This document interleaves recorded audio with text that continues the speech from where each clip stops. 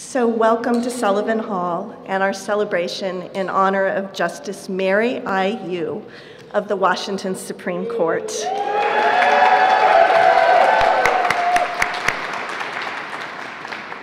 I am Annette Clark, the proud dean and an even prouder alumna of Seattle University School of Law, and I have the pleasure of emceeing this event this evening.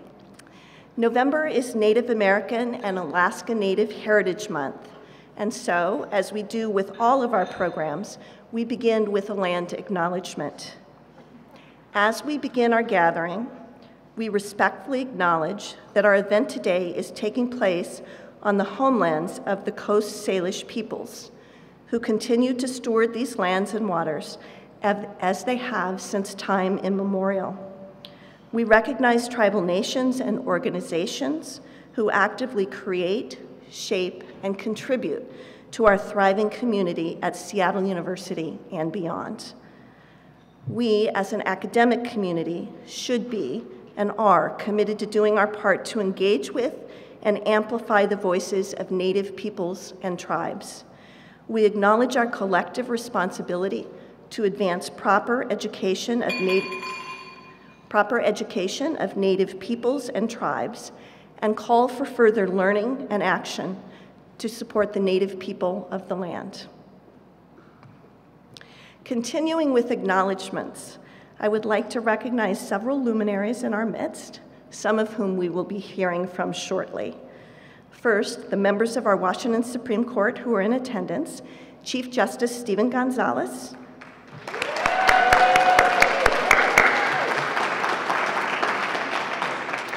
and of course, our guest of honor, Justice Mary Yu.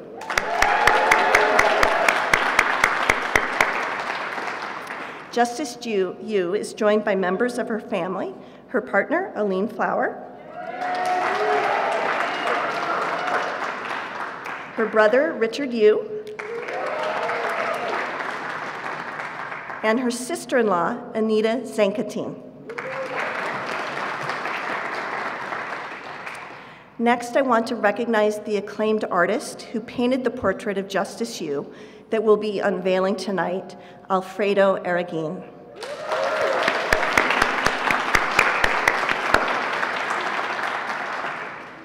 We are also joined by Seattle University's new president, Eduardo Peñalver. He will be offering remarks later in our program. We have in attendance many members of the judiciary, too many to name, but please know that we are honored by your presence. I do think it is appropriate, though, to call out two judges. First, the Honorable Tana Lin, who was very recently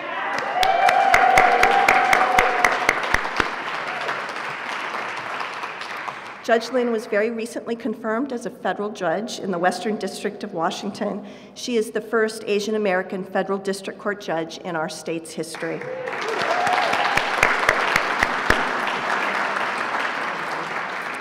And second, the Honorable John Chun of the Washington Court of Appeals.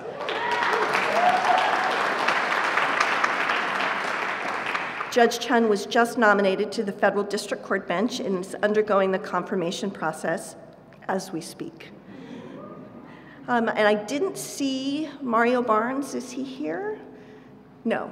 I was going to welcome Mario Barnes from the University of Washington School of Law. Um, he recently has announced that he is stepping down from the deanship, which we are sad about, um, but we're happy for Mario.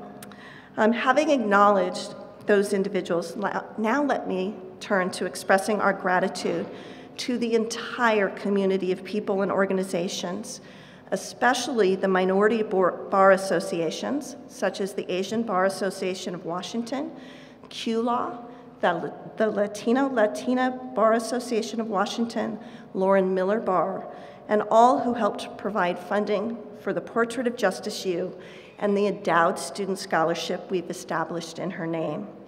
We are so grateful for your support. This night would truly not be possible without the many of you who stepped forward and gave generously and assisted with our efforts.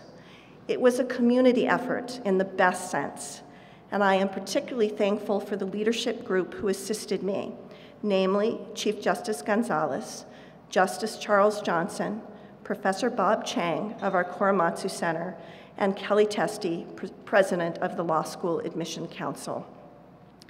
In terms of this celebration, the most important among those I just named is Chief Justice Steven Gonzalez, whose idea it was to commission Justice Yu's portrait and to hang it in the Temple of Justice alongside the portrait of Justice Charles Z. Smith as a reminder to everyone who visits our state Supreme Court that representation matters. It is his vision, along with some help from Professor Bob Chang, that we have brought to fruition this evening. Not only the stunning portrait we will unveil, but the endowed student scholarship in Justice Yu's name, both of which will be a part of Seattle University's School of Law in perpetuity.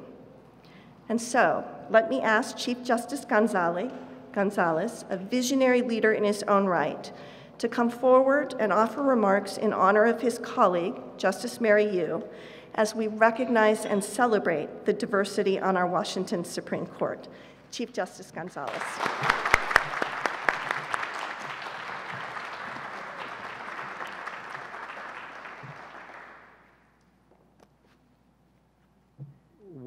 What an event, what an evening, and what an honor it is to be here before all of you. It's been so long since I've been with so many friends.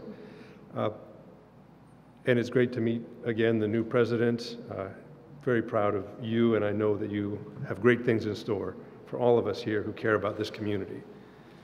And to Dean Clark uh, for the kind introduction, and Professor Bob Chang for helping uh, with so many things, but also with this project. We're doing it because we care so much about the students who graduate from Seattle University. One of the best graduates ever from this school is my senior law clerk, Laura Anglin, who is here.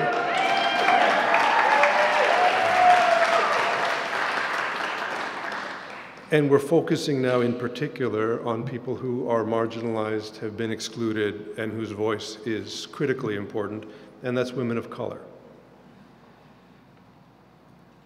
And so it's wonderful to see such a magnificent leader as Justice Yu represented in the portrait that you're about to see later this evening uh, in living color. It is truly more stunning than you can get from just the reproduction on the brochure that you've seen. And I want to mention my dear friend Alfredo Arreguin, the artist who painted uh, this portrait. He was willing to paint the portrait of CZ Smith, Justice C.Z. Smith, and Justice Yu, despite me telling him both times that I didn't know if or how it would ever get paid for. he is a beautiful person with a generous spirit uh, and such talent that you'll all see in a few moments. People notice who is represented, and they notice who is not. And that's how these ideas came about from uh, our then seven-year-old son who noticed at the temple when my appointment was announced that nobody on the wall looks like us. It's the observation of a seven-year-old, and it's what led me to the promise that that would change. And with Alfredo's help, uh, it started with the portrait of Charles Z. Smith. Uh, it's now in the portrait of Justice Mary Yu. Um, and there may be yet another portrait that's also been uh, painted. Uh, but not just the art.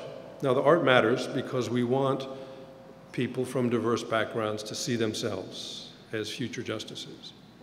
And just as important, we want everyone else to change their stereotype of what a justice looks like.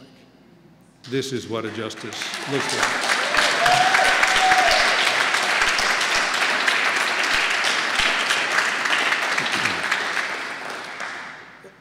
We all know uh, of the tireless work that Justice Yu puts in, uh, not just on the legal work that we share, but on mentoring other people. So many of you have been touched by that mentorship. I know that I have.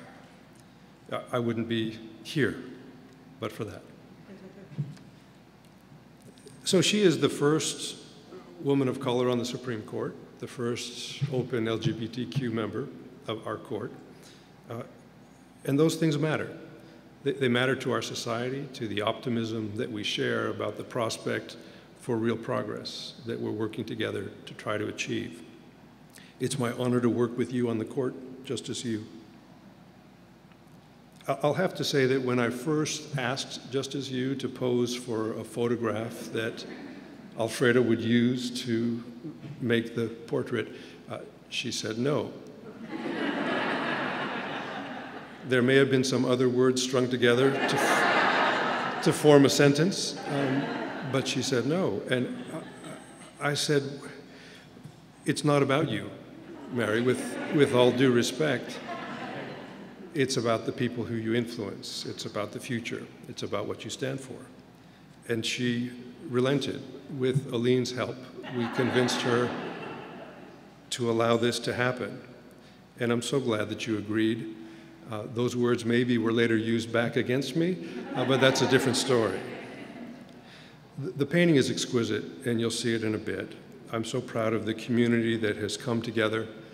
One day it will hang at the Temple of Justice in the library where the public can see it, but right now the Temple of Justice is closed. It's closed and it's going to undergo, we hope, if the funding comes through, renovations for probably another year and a half to two years. So given that it has nowhere in the interim to hang, the original will hang here until we have a proper place for it at the Supreme Court.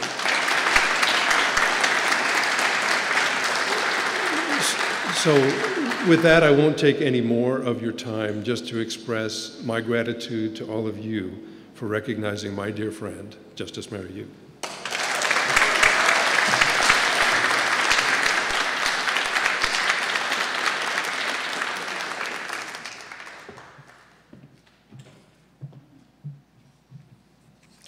Thank you so much, Chief Gonzalez. So it's my opportunity to talk about my friend and colleague, Justice Mary Yu. And I want to talk about what she's meant to Seattle University School of Law in her role as Distinguished Jurist in Residence, as well as co-chair of the Washington Leadership Institute, through which she has mentored and advised so many law students and new attorneys. As I told this year's 1Ls during orientation, Justice Yu is the one person we can't do without for that program. Seriously. We could skip me or any of my other colleagues in administration or our faculty and perhaps even the president and provost of Seattle University. But the show cannot go on without Mary Yu. And to show you the lengths that we'll go to, two years ago, we interrupted her vacation and flew her from California to Seattle and then back again. Last year, we had her speak remotely since we were all online. And this year, we asked her to take time away again from her much earned and well deserved vacation to speak virtually. And it turns out she was speaking virtually from a bathroom in her friend's condo, where she had rigged up several light rings and had a stately and professional virtual courtroom background.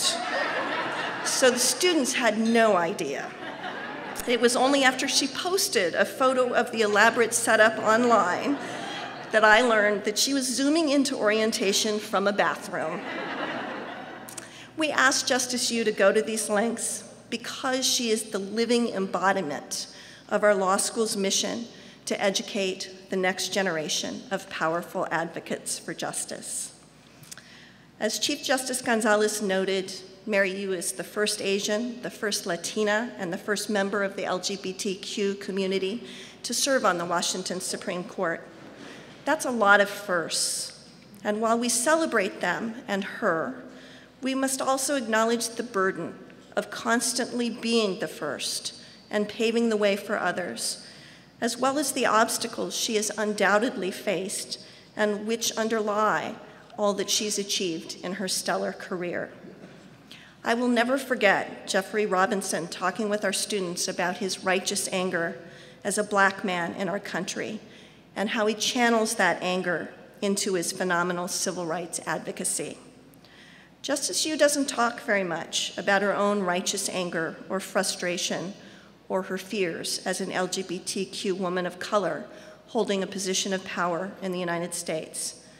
But I can tell you from observation how she channels those inevitable emotions, and that is into resolve with a capital R.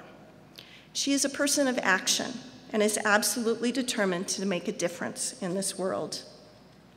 Justice Yu is a powerful role model for all of us through her ideals and values, her commitment to the rule of law and our system of justice, her belief in the dignity and value of every human being, her willingness to champion the importance of diversity and inclusion every single day, and her insistence that those in the legal profession do the work of justice and equity for all.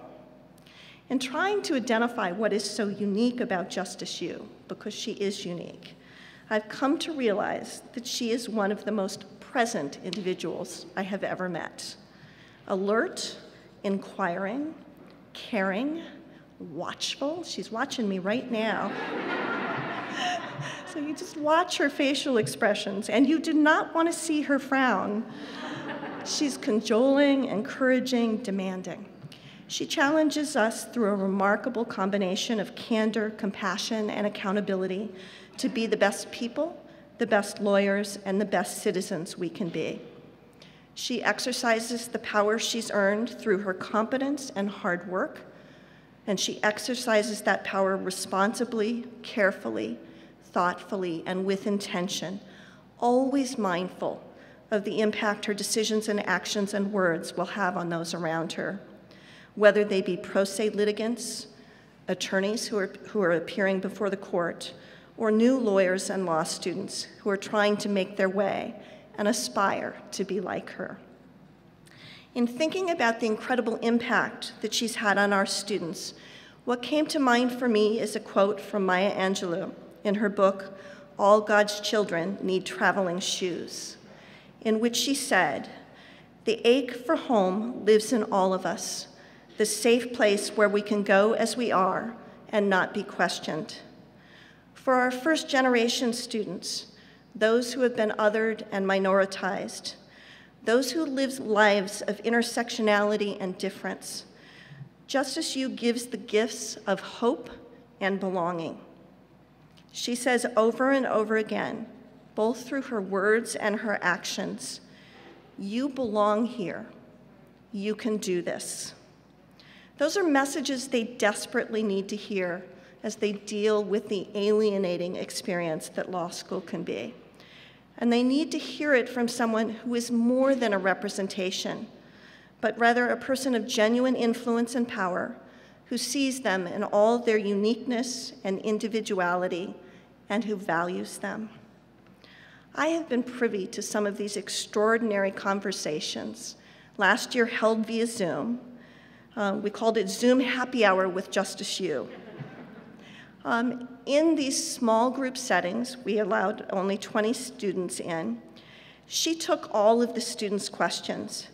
She would speak of her faith, her own intersecting identities, how she stays hopeful in a world that is often dark, the cases and clients she most remembers, and her hopes and dreams for the future. And remarkably, after hosting four of those Zoom sessions for our students, she requested that we do them again in the spring. But this time she turned it around so that she was asking the questions of the students, learning about their perspectives, experiences, fears and struggles, and hopes and dreams, that they were bringing as they joined the legal profession and eventually become its leaders.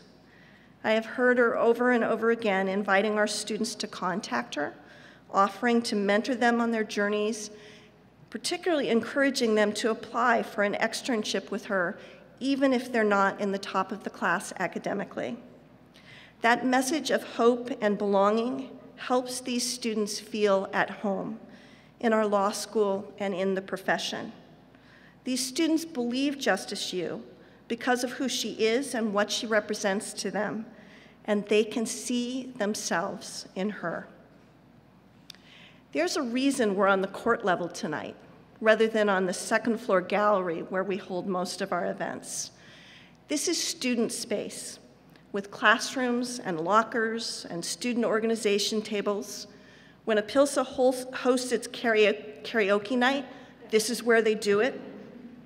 And we knew from the beginning that this is where Justice Yu's portrait belongs, centered in a space that our students claim as their own, and adjacent to the pair of statues, right here, entitled The Wanderers, who are forever engaged in the search for truth and justice.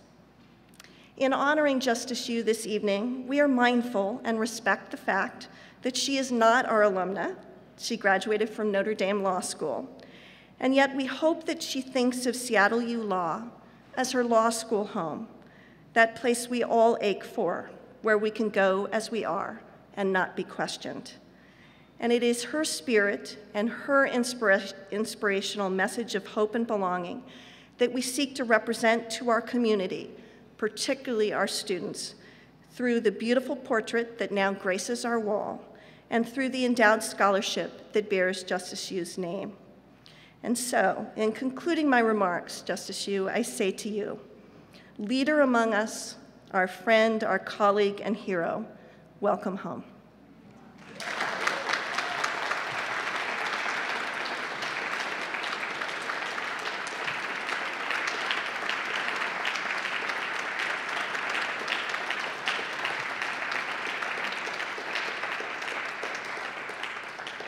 It is now my great honor to introduce Eduardo Peñalver, Seattle University's new and 22nd president. He is an individual of firsts as well. The first person of color to be dean at, a, at an Ivy League law school, Cornell, which is where he joined us from, and now Seattle University's first BIPOC and first lay president. But best of all, President Peñalver is one of us, a lawyer Please join me in welcoming him.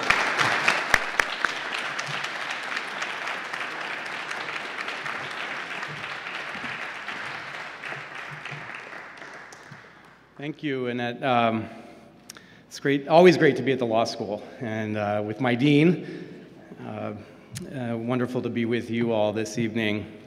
I'm particularly honored to be in the presence of so many esteemed jurists. Uh, I'm going to just call out Chief Justice Gonzalez, of course, and, and Justice Yu, whom we're here to, to honor tonight. It was, it was wonderful to meet you and, and to be here to celebrate you. Um, and we're also honored by the presence of the distinguished artist Alfredo Arreguin, whose uh, portrait um, we're going to unveil. My mom first met him uh, over 40 years ago when she worked at Seattle Children's hospital here in Seattle and uh, was the director of play therapy, and Alfredo painted a mural there. And ev actually, everyone in my family has one of his paintings in our, in our home, and I, um, I have two of them in, uh, in my office here at Seattle University. I have uh, one of his portraits of Our Lady of Guadalupe that is on loan from my parents' house, and they're, they're very um, insistent that it is a loan. Uh, they do not they did not give it to me. It's a beautiful portrait, and, and I have one of um, Orca's as well. Um, your work is an inspiration to all of us, but it's a special source of pride for the Hispanic community here in Washington State and, and, and in the United States. So thank you. Thank you for joining us. It's so appropriate that we are here to honor Justice Yu this evening. Uh, it couldn't um, be more important to have her distinctive voice on our state's Supreme Court along with the Chief Justices. Um, you know, around the same time that, that Donald Trump was kicking off his 2016 campaign, the US Census Bureau announced that for the first time in American history, a majority of young American children are not white. And, and this is really kind of an astonishing fact when you think about it. When my parents were teenagers, the United States was 90% white. And today the country as a whole is 70% white, and uh, among the generation coming up behind Generation Z, so the uh, those born after 2010, uh, over 25% are Hispanic and, and 49% are white. And now these numbers are kind of familiar to anyone who's been paying attention. We hear them a lot. The, we're accustomed to this idea of the browning of America, and we, we take it for granted. But it's really an astonishing demographic transformation, both in its speed and its scale. And of course, it's deeply unsettling and disorienting uh, for some. And, you know, despite all the complexities at work, in the political dynamics of our country, uh, I think the, the transformation uh, remains for me the most likely explanation for a great deal of what we've, what we've been witnessing here. Um, and as evidence of this, I would point to the increasing prominence of the so called Great Replacement Theory within conservative political discourse. Uh, just a few weeks ago, Tucker Carlson lamented, and I'll quote, the replacement of legacy Americans with more obedient people from faraway countries. I don't think he was referring to indigenous people with legacy Americans.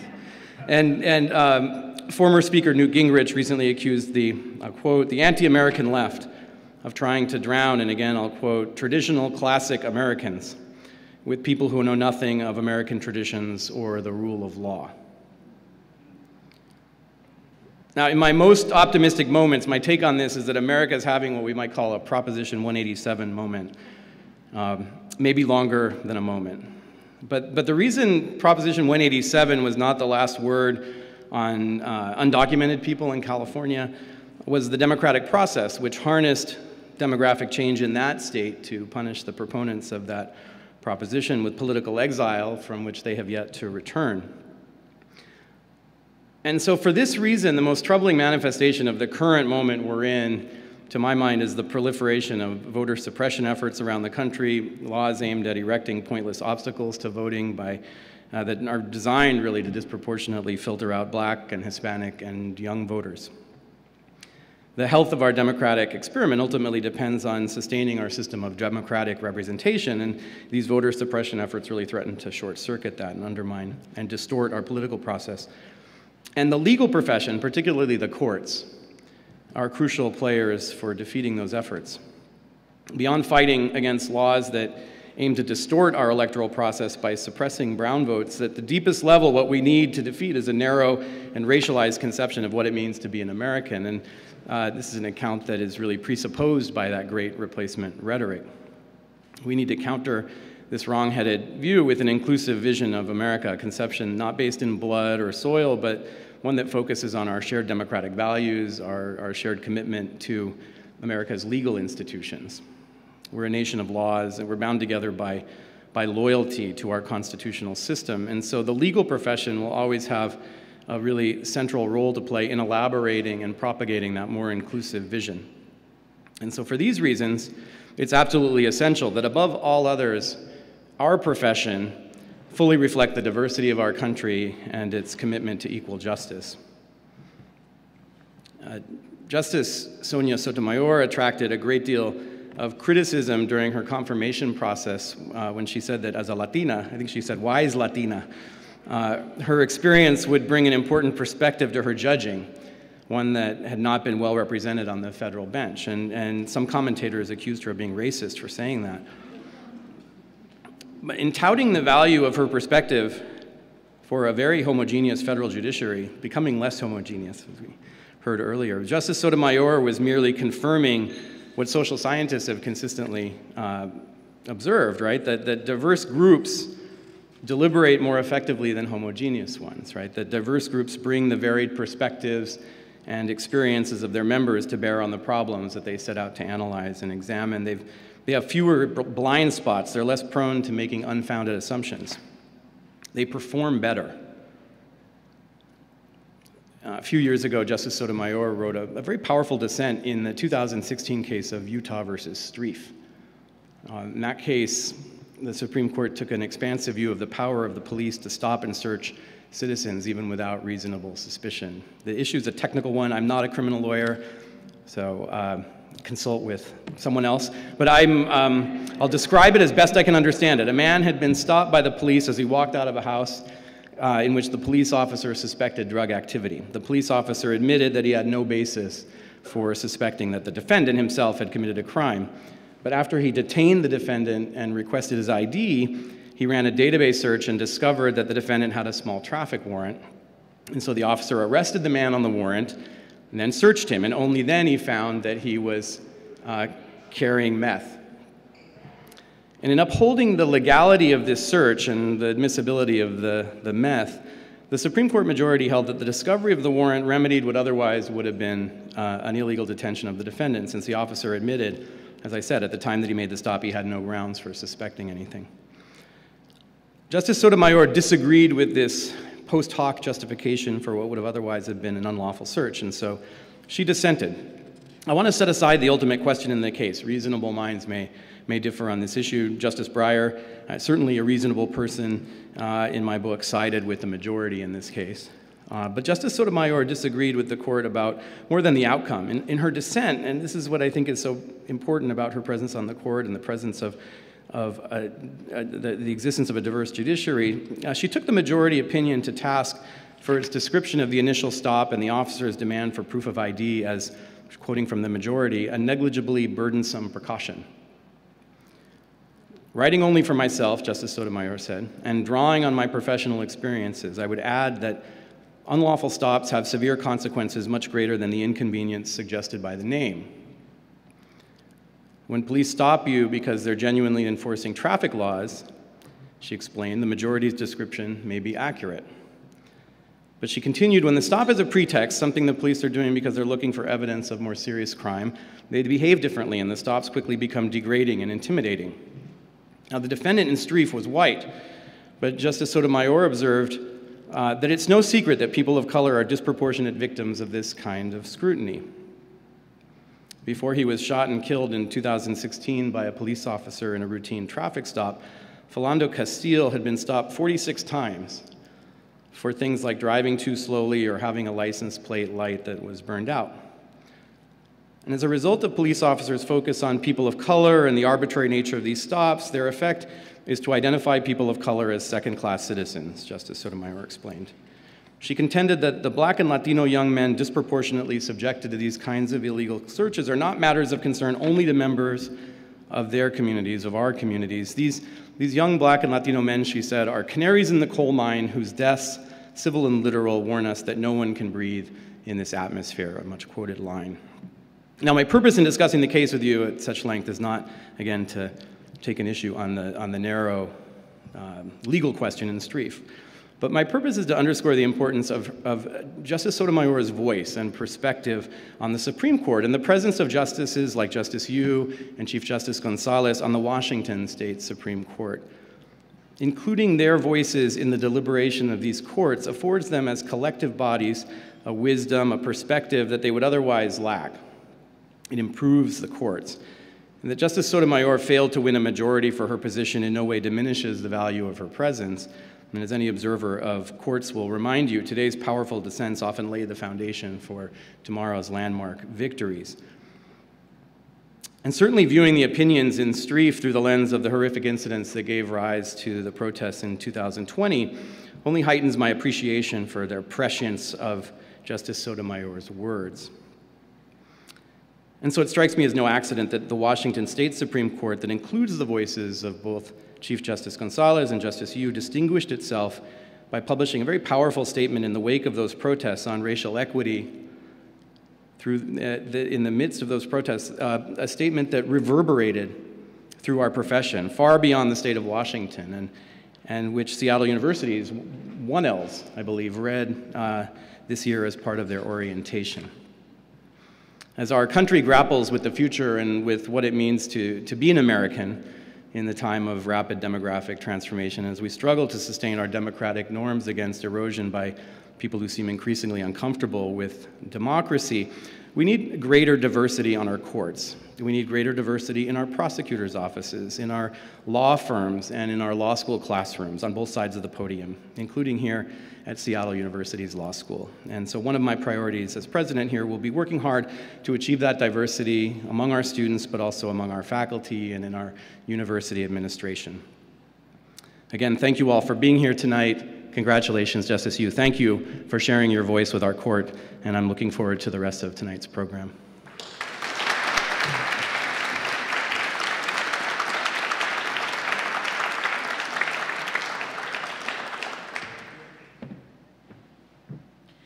Thank you, President Peñalver. We feel fortunate to have your voice at Seattle University. We are actually going to change up the order of the program. We had originally ant anticipated doing the unveiling, which is over there, but then we wanted to talk about the scholarship here, so I'm going to do them in the reverse order. Um, so there are two concrete ways in which we are celebrating Justice Yu this evening. Um, and the first of those is the Endowed Scholarship, the Justice Mary Yu Endowed Scholarship for Students. Um, this scholarship will be given to a student each year with strong consideration to be given to students who are underrepresented at Seattle University School of Law, especially women of color. This scholarship is endowed at the $100,000 level um, what an endowment means is that that 100,000 will remain forever and it will spin off interest income, which we will then be able to use for generations of women of color who attend our law school.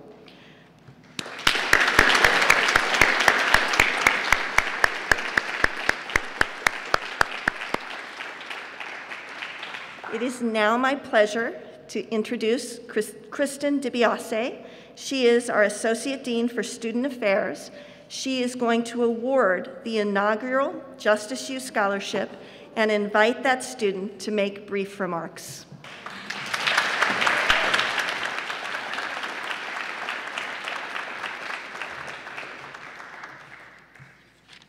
Hmm. This is what my face looks like.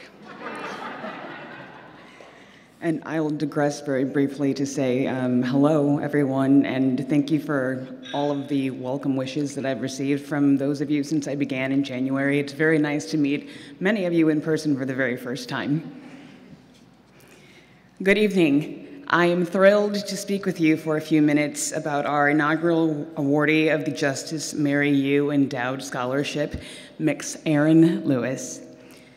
Something unique about Aaron is that they style their name in all lowercase. Whenever I see someone who does that, it immediately evokes thoughts of the author Bell Hooks, who, it has been said, styles her name that way to center not herself, but instead the work that she does.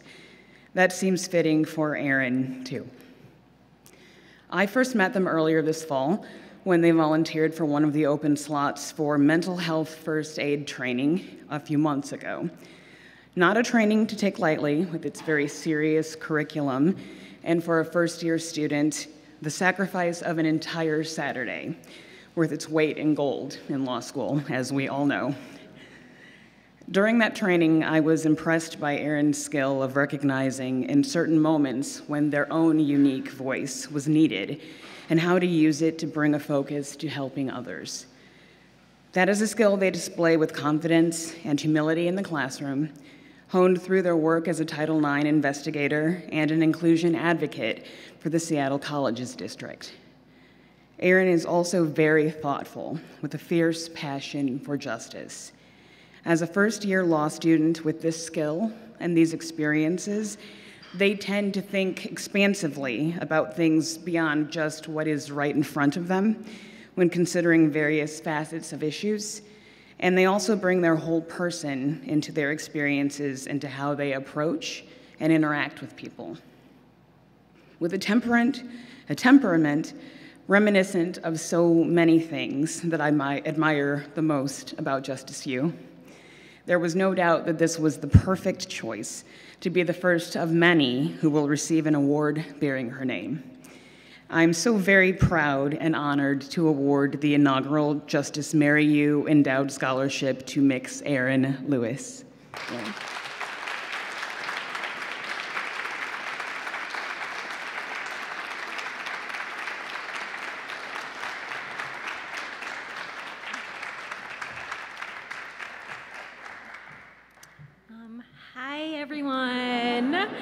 Good evening, justices and judges. Um, I just wanted to let you all know that this is such an incredibly meaningful gift, and I am humbled and honored to be receiving this scholarship in the name of Justice Mary Yu, um, who certainly is not only a trailblazer, but is all of our wildest dreams come true. Uh, you know, I am a non-traditional student as part of the inaugural Flex JD program. I also am non-binary and of color.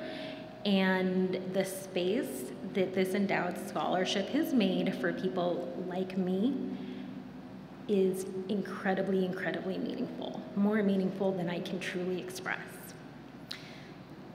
I did not actually see myself ever in law or even as a law student because of the lack of representation and the way that this scholarship dedicates space, energy, time, and funds to the future, not only of the legal profession, but also of our world community um, is so impactful. So thank you very, very much. Thank you so much for just being you. Justice Mary Yu. We love you very much.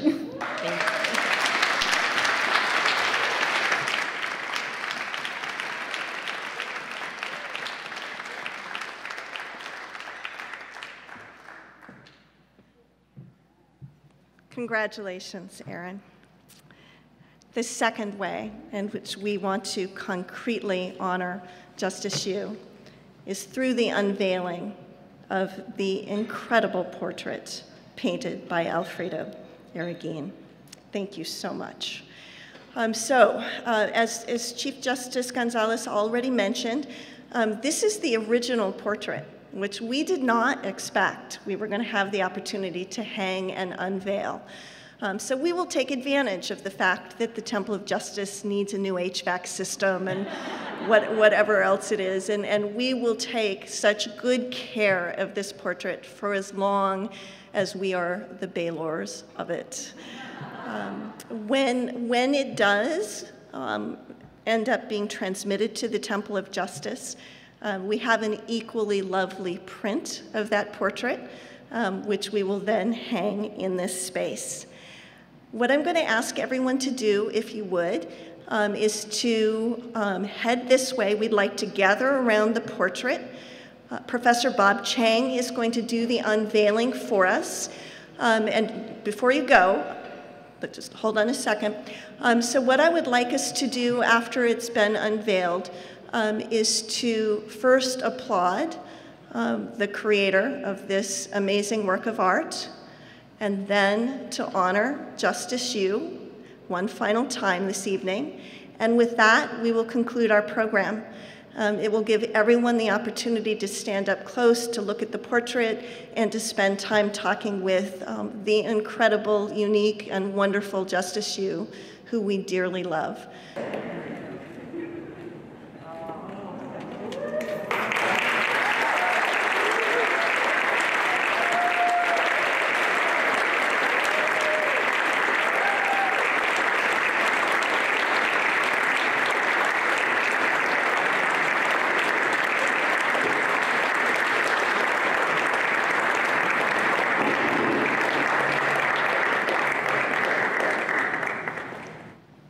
So there's one slight thing I omitted, which is the opportunity for Justice Yu to give remarks.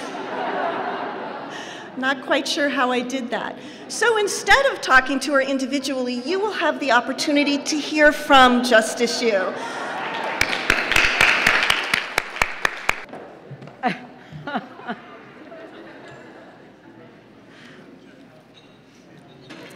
I think it's great to be a PS. it really is. It's great. It's great.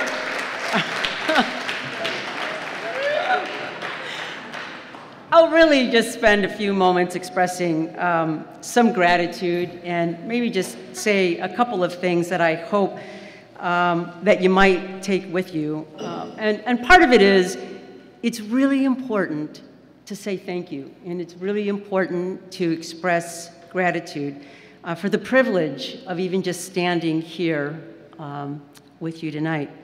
I want to thank my family, my friends, my colleagues. Uh, my judicial colleagues are always very special to me um, because we know what we're trying to do um, each day. Um, we have an incredibly talented artist, Alfredo. Where is Alfredo Arreguin?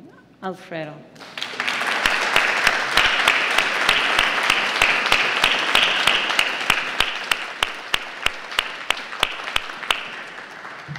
I especially thank Dean Clark, Bob Chang, the incredible staff and faculty at Seattle University. Um, but there are two people that I really want to just express deep, deep gratitude to. And the first is to Chief Justice Steven Gonzalez. And I just have to tell you that Steve and I have traveled many, many years together as trial judges and now at the Supreme Court. And we're not just colleagues, um, but we're dear friends. And we may be the symbolic two people here, the wanderers uh, in search of justice. And I can't think of anyone that I would rather do that with other than you, Steve. I love you dearly and thank you very, very much.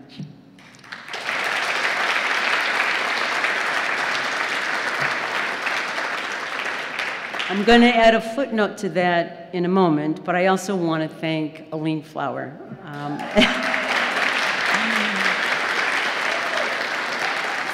and uh, uh, we all know, right, that the person that we live with and who loves us dearly um, is the person who knows us best in so many ways. And Aline has been nothing but supportive um, through this journey, the journey of trying to do the best that I can for the people on the Supreme Court, but also um, trying to do our best to be good people. Um, Aline is the sweetest, smartest lawyer that I know.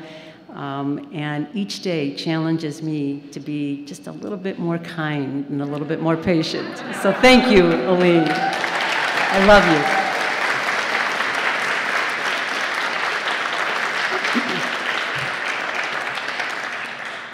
The footnote that I wanted to add, um, and it's important for all of you to know this, is because Alfredo has become sort of the Supreme Court artist, as far as I'm concerned.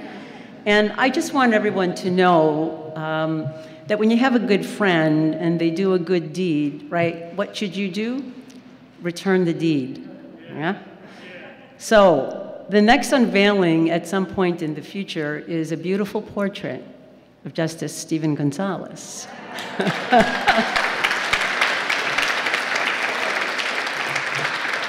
it currently hangs in my chambers at the moment. And it's beautiful and captures his spirit in so many ways. But what's significant about that, again, is Alfredo was the artist who painted that portrait. Um, but the thing that is most significant to me, and those of you who know me, is institutional change is the most important thing. Institutional change, where that institution changes a behavior or a habit and does something different. The portraits of Justice Smith and myself um, were because of heroic efforts of Justice Gonzalez, but the portrait of Justice Gonzalez was commissioned by the state Supreme Court and paid for by the state Supreme Court.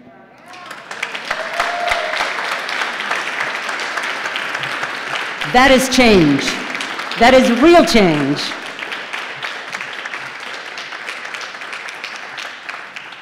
So I'll say a few things before uh, we end the evening. And I just have to tell you, it's very strange to stand here and see a portrait of oneself. Um, it's a little embarrassing. um, and yet, I just have to say that every time that I do look at this portrait, is I see my ancestors and I see the dreams um, that led them to this country. And when I see this portrait, I see the changing face of our judiciary. And despite the strange feeling of seeing oneself in the portrait, I have forced myself, Steve, um, to get past it and that's because, as I have been reminded, it is something larger than me. It represents something bigger than me. It represents an immigrant story. It represents opportunity for all. And it represents the importance of mentorship. I could not have traveled the path that I have without mentors mentors who invested in me as a person, as a lawyer, as a judge.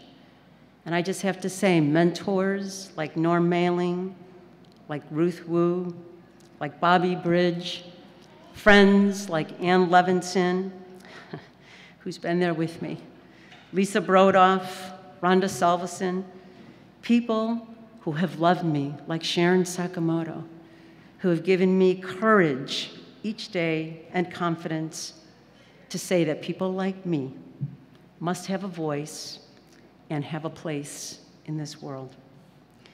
I could not be a member of the Supreme Court without these mentors and friends and without the help and the support of my dear, dear law clerks and my judicial externs, and frankly, without the support and fun of the students from Seattle University School of Law. I loved those happy hours, Dean. My friends, each of us, and I think as reminded by the President, the complexities of our world and our American society at this particular time in history needs great lawyers lawyers who will carry on the work of justice, who will have the vision, the courage, and the integrity to call us to do better and to be better. And we will have great lawyers if we have students with diverse experiences of life and to ensure that they are nurtured in environments like Seattle University, each one of us has the responsibility to be that nurturing mentor to these students. It can't be just me. It can't just be the dean. It just can't be a scholarship. It is the responsibility of every single lawyer to nurture, to mentor, to love into existence lawyers with courage. Because racism and sexism still exists, I ask each of you to please to continue to do all that you can for women of color as they make the choice to enter law school and to enter into our profession. Support these women who start in this building afraid, needing support, needing encouragement, needing a platform to articulate their great vision of who we could be and how much better we need to do.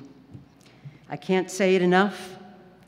Mentoring means nurturing, and it means walking with another in their journey to greatness. I want to thank each one of you for joining me on my journey to be here today. Nobody Nobody gets the opportunities to do what I have done without the support of others. I love each one of you, and I can't thank you enough for everything that you have given me. And I'm asking you to continue to give me that support, that love, and encouragement, because I'm not retiring, I'm not dead, and I've only been re inspired because of this. Because again, as I look at this portrait, I see the story of immigrants, and I see the story that challenges us to make sure that we create room for the next generation, for, for the gifts that they will bring to us. I believe that we have a better future. I believe that we will be better people. And I thank you again, especially the judges in this room, for your service, your courage, and you keeping up the good work that you have through this very tough tough 18 months. You're the people in our community that deserve our thanks. So thank you.